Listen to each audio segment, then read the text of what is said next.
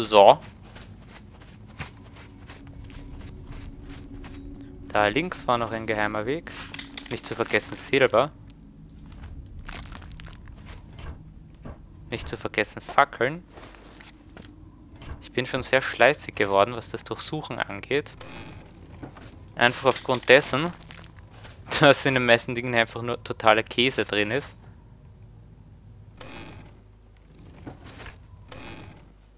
Gold.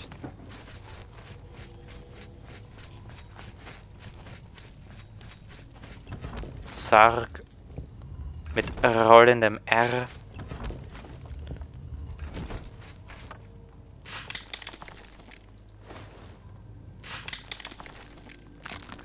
Habe ich da rausgenommen? Ja. Ich habe mir gerade nicht sicher, ob ich die richtige Taste gedrückt habe. Passt. Überall doppelt reinschauen. Passt. Nein, das wollte ich nicht. Ich drücke manche Tasten einfach schon so automatisch, das ist eigentlich gruselig.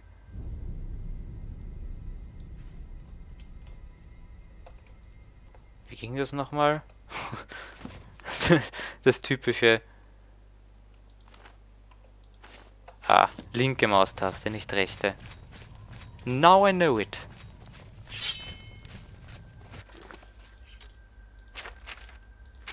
Das heißt, da hinten war da noch was. Da habe ich mir scheinbar vorhin nur eingebildet, dass da noch ein anderer Gegner war. Oder es war tatsächlich noch ein anderer Gegner, nur das ist keiner von denen, die wir töten müssen. Ist natürlich auch eine Option.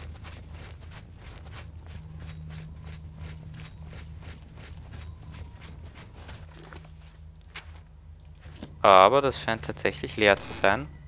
Gold, Dietrich. Skeleton Key. Nennt man die auch auf Englisch. Frag Leo. Ich wollte es zuerst doch nicht glauben, aber... Es ist wahr.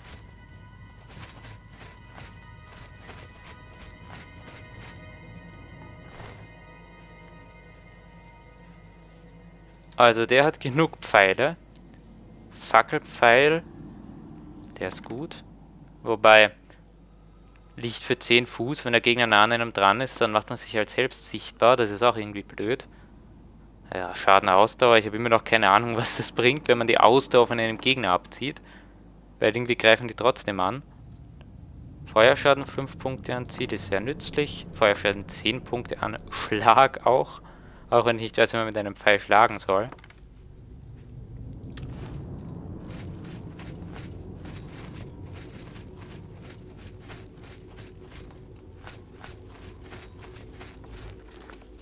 Perfekt. Dann geht's wieder outside. Outside to the forest. Da kein Forest ist, weil ein hässliches Oblivion-Tor im Weg steht. Aber ihr wisst, was ich meine. Glaube ich. Hoffe ich. Nein, ich weiß. Ich weiß es.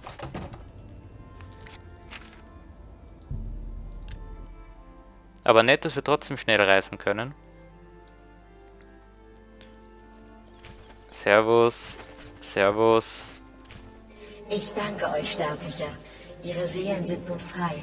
Und von nun an sollen über meinem Schrein für immer fünf helle Kerzen brennen, im Gedenken an ihr Opfer. Zum Dank für euren Dienst nehmt dieses Zeichen, auf das eure Tat in das Buch des Schicksals aufgenommen werde. Asura dankte mir, ja, ja. Asuras Stern. Wir haben ein dedrisches Artefakt, das Martin für das Öffnungsritual des Portals zu Kamerans Paradies benötigt. Aber ehrlich gesagt möchte ich den behalten. Den Stern, weil es ist ein Seelenstein, der nie kaputt geht. Und das ist äußerst nützlich.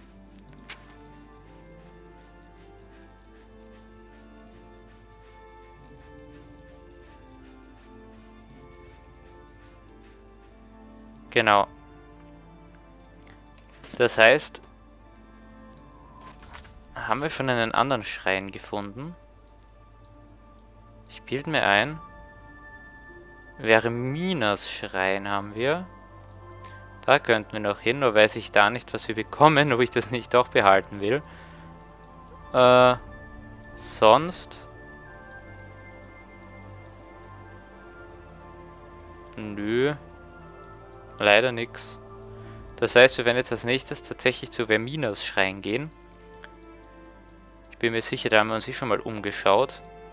Da ich es ja bereits gefunden habe und markiert habe auf der Karte. Oder wir haben es durch Zufall gefunden, das kann es auch sein. Jedenfalls erinnere ich mich nicht daran. Servus. Du bist der Wichtige. Wer seid ihr, der ihr das Haus des Schattens zu betreten wagt? Was wollt ihr von Fürst Vermina? Das ist ein Mann, oder was? Hier huldigen wir Vermina, beten darum, dass sie uns wahre Visionen gibt. Was wollt ihr hier? Warum hast du denn vorher Fürst statt Fürstin gesagt? Du hast sie gerade indirekt verarscht, mein Freund. Wenn ihr mit Vermina sprechen wollt, müsst ihr dem Dedra-Fürsten einen schönen, großen, schwarzen Seelenstein anbieten. Ja, die Frage ist, wo kriege ich einen her? Wir beobachten und warten. Geheime Universität wäre wahrscheinlich ein heißer Tipp. Ansonsten... Hm.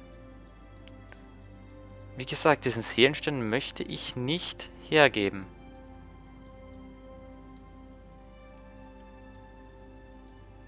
Wir könnten uns auch theoretisch jetzt erst einmal wieder auf die Nebenmissionen konzentrieren. Und vielleicht finden wir da ja zufällig einen schwarzen Seelenstein.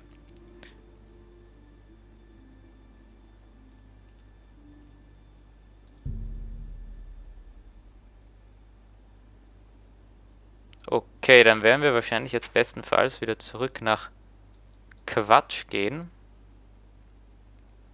Wir werden uns aber davor schlafen legen, damit wir Level aufsteigen können. Ist, glaube ich, auch ein heißer Tipp. Heute habe ich viele heiße Tipps parat. Das ist sehr schön. Das erfüllt mein Herz mit Freude.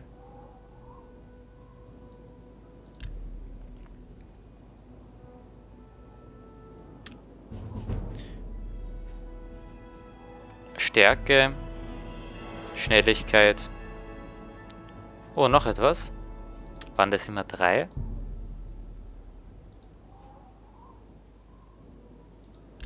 Perfekt. Freut mich, dass wir jetzt schon so schnell sind. Ich lege mich hin und schließe die Augen, aber ich denke an Wie konnten anderes. die Neuen das nur zulassen? Sind sie wütend auf uns? Ach so, wir können uns ja teleportieren. Das geht schneller. Ein heißer Tipp. Habe ich das schon gesagt? Heißer Tipp? Ich glaube nicht.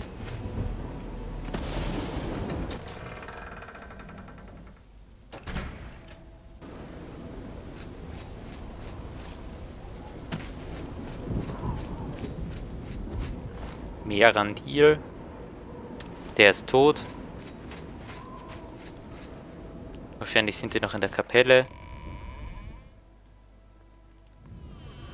Guten Tag.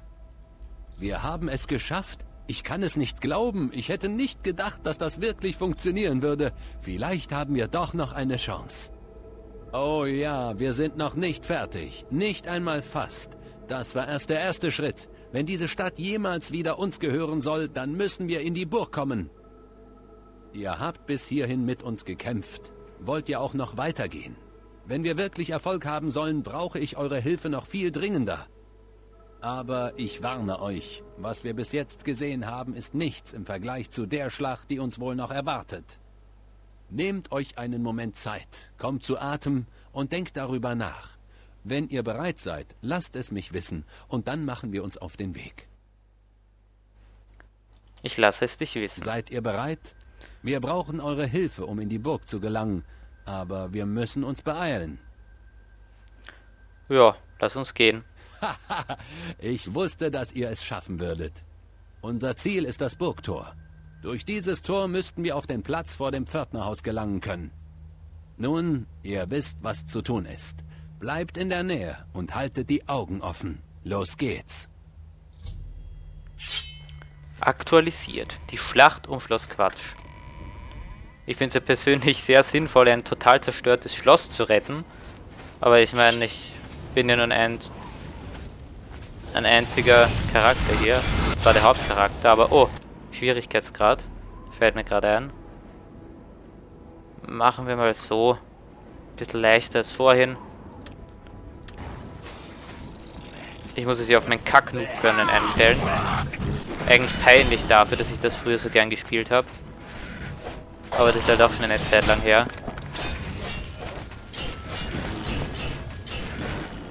Irgendwann 2006 oder Anfang 2007 war das.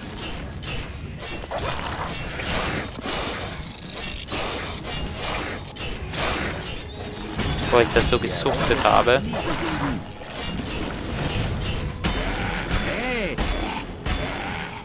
Savlian, du könntest mir ein bisschen mehr helfen. Das wäre nämlich sehr nett von dir.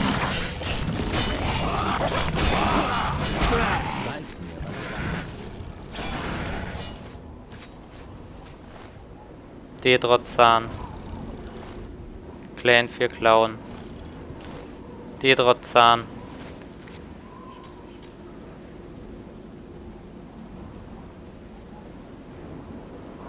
Wir haben nirgends eine Seele drin.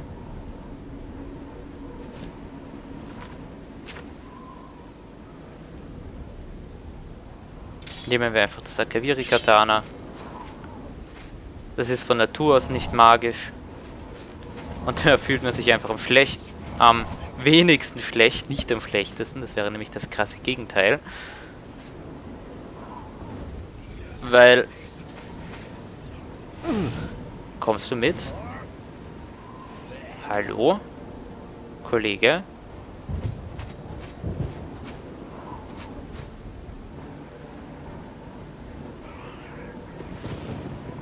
Suizidbomber. Ach so, hier geht's auch weiter. Ich weiß gar nicht mehr, wo ich den Satz beendet habe. In jedem Fall fühlt man sich am wenigsten schlecht, wenn man eine Waffe verwendet, die gar nicht verzaubert ist, anstatt eine Waffe zu verwenden, die verzaubert ist und nur leer ist. Weil dann fühle ich mich immer so schlecht, weil ich zu faul bin, beziehungsweise einfach immer darauf vergesse, die wieder aufladen zu gehen.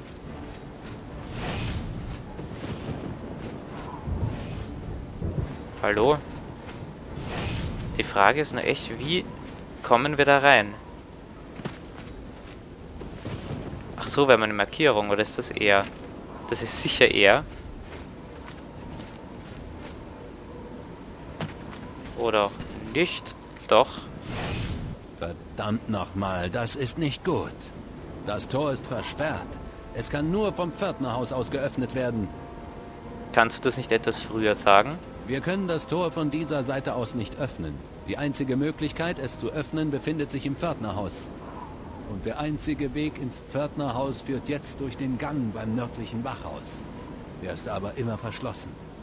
Ihr müsst Berich Injan so schnell wie möglich finden. Er müsste wieder in der Kapelle sein und den Schlüssel zum Wachhaus noch bei sich haben.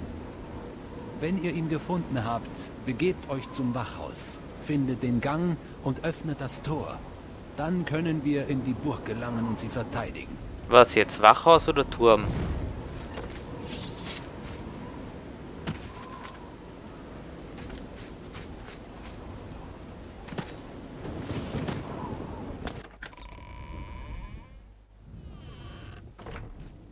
Wir warten nur auf den Befehl von Hauptmann Matius, endlich eine Gelegenheit zurückzuschlagen.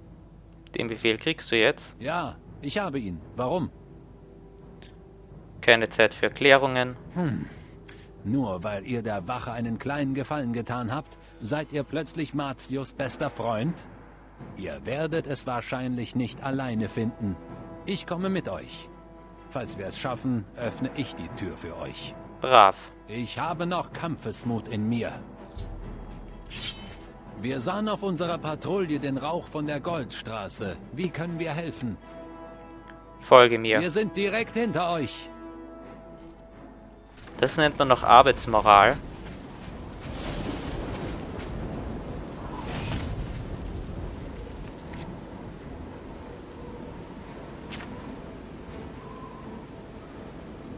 Ach so. Das ist nicht hier bei dem Ausgang.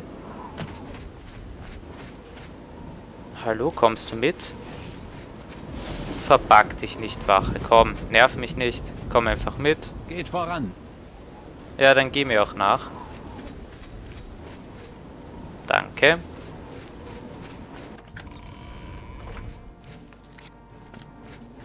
Ach so, wir müssen ihm folgen. Okay.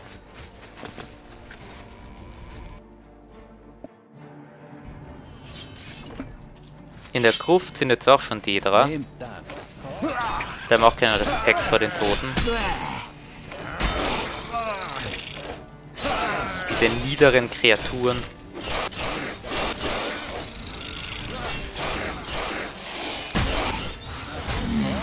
Könntest du bitte aufhören, mich zu verpacken?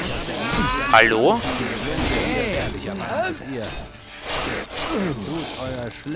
Was war denn das bitte? Ich konnte mich nicht mehr bewegen und er hat immer angegriffen. Vielen Dank, Kollegen.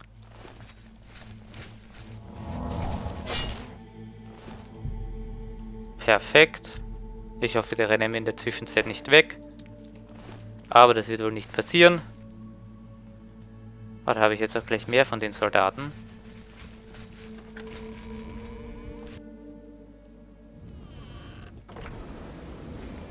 Hallo? Eisatronach oder Frostatronach. Ach geh, ich wollte dich von hinten killen. Ich wärme mich gerade erst auf, du Erbärmlich. Hey! Stirb.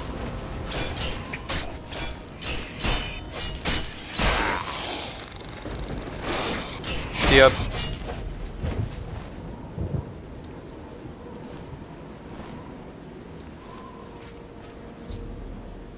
Berich, Inian ist tot. Wir müssen den Schlüssel für das Haus der Wache von seiner Leiche entnehmen und selbst weitermachen. Tja, äußerst tragisch. Ich glaube, ich helfe denen jetzt einfach.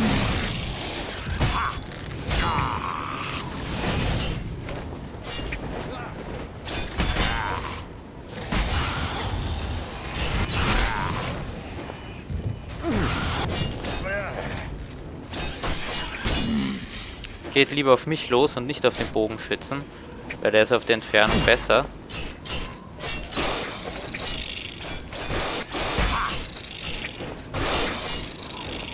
Brav.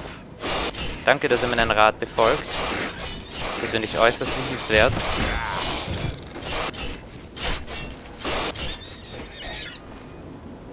Klauen. Wir klauen ihm die Klauen. Oh, ich finde das so witzig, das ist unglaublich. Flammenatronach. Atronach, Atronach, whatever. Den Schlüssel, Gold. Clan 4.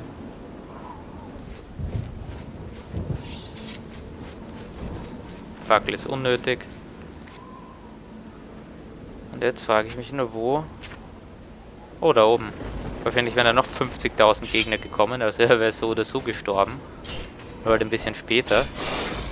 Unsere Wache lebt noch, das ist schön. Hilf uns bitte auf Distanz. Bitte bleib im Fernkampf, Wache.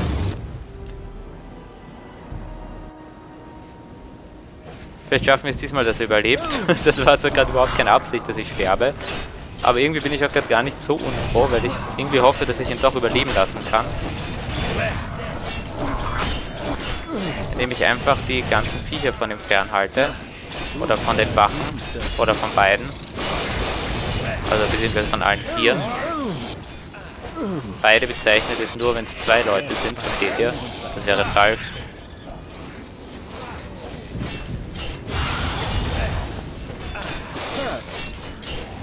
Ich glaube, der Flammenastronach macht mehr Schaden als Clan Fierce, deshalb mache ich den zuerst fertig.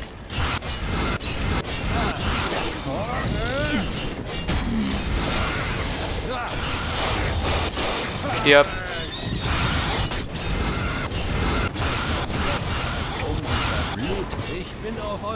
Ach, habe ich dich jetzt aus Versehen geschlagen? Das ist natürlich auch blöd. Aber mich würde einfach der Dialog interessieren, der dann höchstwahrscheinlich zwischen ihm und dem Hauptmann sein würde, sein wird, wenn er überlebt. Warten können wir nicht, aber speichern. Das letzte Mal in der ausgeplünderten Mine